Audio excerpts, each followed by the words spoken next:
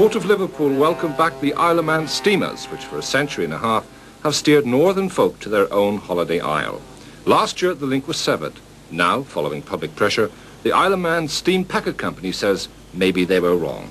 So, sailings are back for the summer season. And as the ferry, the Lady of Mann, docked, it was celebrations all round for the company and customers alike. Really pleased to be back. It's the continuation of 156 years of tradition and we're back here and we hope we're back here to stay. We're, we're a caring company, we do respond to uh, public opinion and I think it's fair to say that on this occasion we've done that. And it's, it's really been, oh, it's tremendous really, it's like coming home.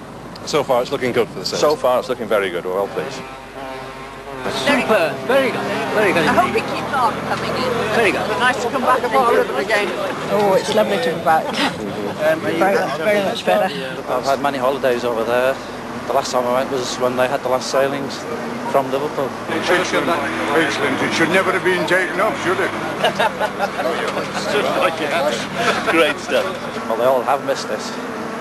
I mean, the people around here now prove that people wanted it back again.